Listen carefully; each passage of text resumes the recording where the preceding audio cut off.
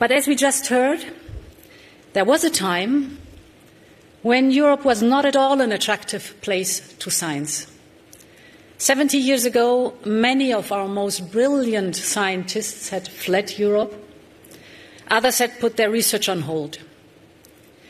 It was a handful of European physicists who turned the tide and brought science back to Europe. This is how the CERN was born.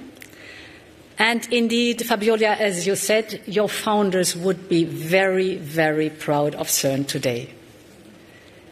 Today, you are welcoming 17,000 visiting scholars every year. Basically, every physicist in the world wants to work at CERN. You have not only put Europe back on the map, you have become the center of the world for particle physics.